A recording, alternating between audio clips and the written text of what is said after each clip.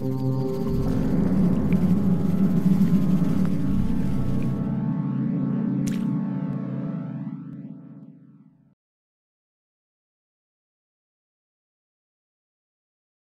get it clear. I don't want a kid who looks like you and doesn't have a job in my town.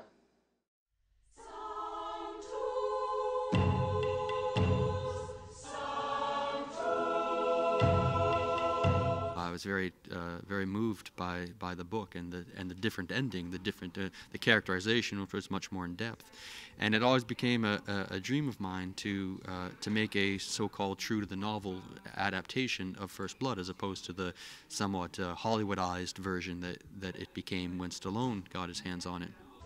Where was he supposed to get a job that needed experience like that? Is that what you brought us after? A war hero? Fucking Green Beret? In the book, what happens is Rambo runs away from the police station uh, naked into the woods and has to start from scratch there. He's naked in the woods and has to wage this war by himself against all these people attacking him.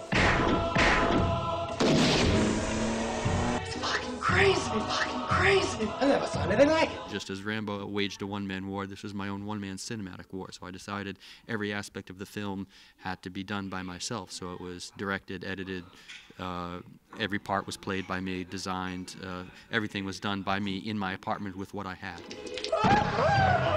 She didn't answer me. Oh, da, da. What this kid do to you? This is a court of law. You almost died!